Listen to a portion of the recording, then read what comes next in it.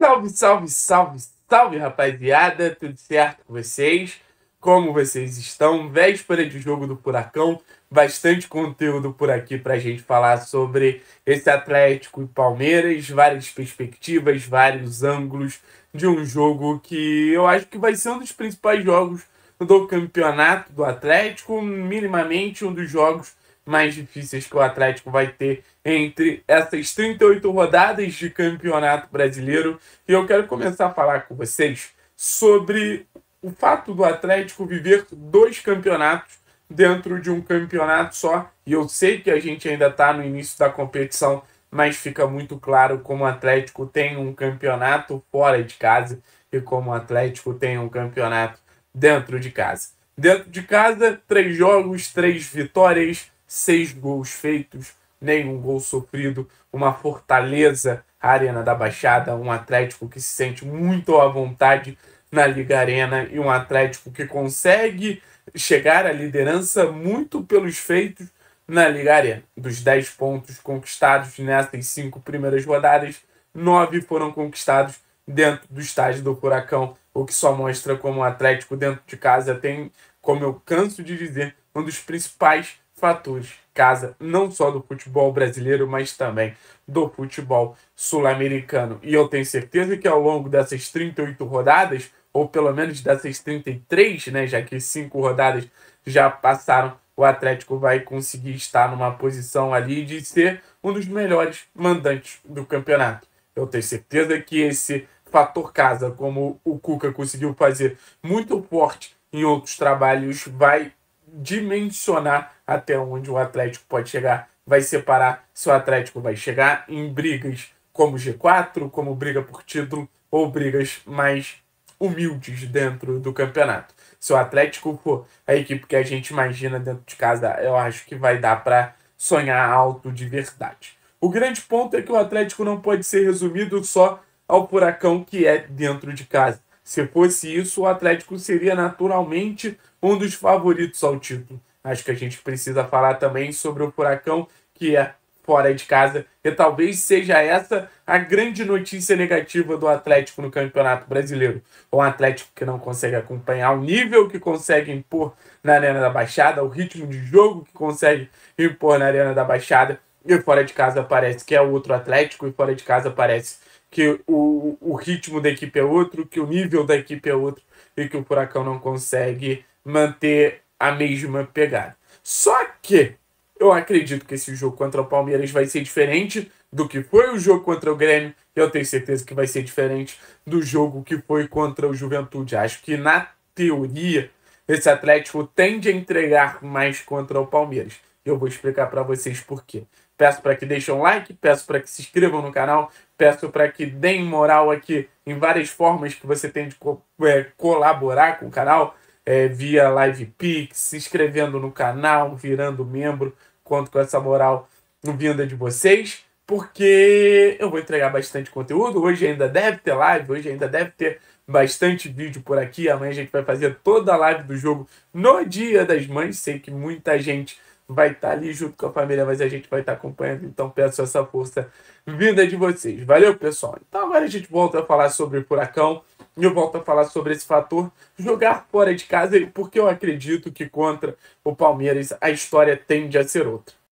E eu acho que existe uma boa notícia e uma má notícia ao mesmo tempo nesse cenário da gente acreditar que esse jogo contra a equipe do Palmeiras pode ser diferente. Porque eu não acho que seja um padrão que vem fazendo o Atlético jogar mal fora de casa. O Atlético não vem jogando fora de casa por um motivo. Contra o Grêmio, teve as especificidades ali, muito a partir das mais substituições do técnico Cuca. Contra o Juventude, muito do jogo foi por um início muito ruim do Atlético, então não tem aquele motivo que fala, ah, o Atlético joga mal fora de casa por causa disso. Eu acho que essa é a grande notícia, porque muito do fato do desempenho fora de casa do Atlético não ser o desempenho que a gente imagina, eu acho que tem a ver com competitividade, ritmo de jogo, capacidade competitiva. O grande ponto é, eu entendo o Atlético não ter a mesma capacidade competitiva que tem dentro de casa ou fora de casa em todos os jogos, os todos os 19 jogos que o Atlético vai ter fora de casa. Mas tem alguns jogos que eles são especiais, dentro ou fora de casa. E quando você enfrenta um Palmeiras, você está falando de um jogo especial. Quando você enfrenta um Palmeiras, você está falando de um dos principais jogos entre os 38 do campeonato. Quando você está falando de um jogo contra o Palmeiras, você está falando de um jogo único dentro da sua caminhada em relação a atingir os objetivos. Então o Atlético não está indo jogar mais um jogo. E eu tenho certeza que se o técnico Cuca perceber que os jogadores estão tratando como mais um jogo, o esporro não só vai cantar, o esporro tem que cantar. Eu acho que o Atlético ele tem que ter um olhar completamente diferente para esse jogo contra o Palmeiras. É um jogo diferente, é um jogo especial, é um jogo que marca a temporada, é um jogo que marca a campanha e é um jogo que valida o nosso sonho. Mais do que isso, é um jogo que valida o nosso sonho. Gente, o Atlético tem o sonho de ser campeão brasileiro e isso é inegável. Senão a diretoria do clube não teria falado, senão os jogadores do clube não teriam falado. Mas para você se colocar numa possibilidade de brigar pelo título brasileiro, você tem que enfrentar os principais adversários do campeonato. Você tem que enfrentar Palmeiras, Flamengo, Atlético Mineiro e quem vier pela frente. O Atlético tem uma grande vitória até agora nesse início de campeonato brasileiro, que é contra o Internacional. Mas venceu o Palmeiras. Eu acho que para cada jogador do elenco vai ser mais especial, por tudo que o Palmeiras representa hoje no futebol brasileiro, de um dos times mais vencedores das últimas temporadas. E eu tenho certeza que vai ser especial para a caminhada do Atlético. Vai ser uma validação tanto interna quanto externa. Externa é natural que a imprensa, a torcida, comece a olhar para esse Atlético diferente depois de uma vitória que pode ser uma vitória tão expressiva.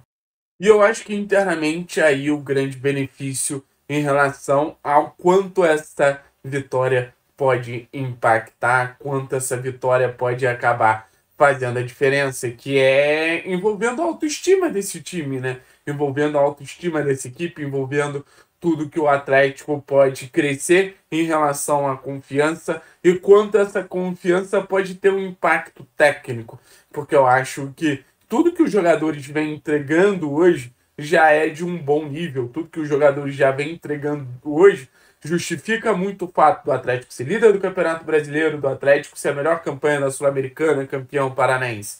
Mas a partir do momento que eu entendo que esses jogadores estão mais confiantes, eu fico pensando quanto um Zapelli pode render, quanto um Esquivel pode render, quanto um Fernandinho pode render, quanto um Eric pode render.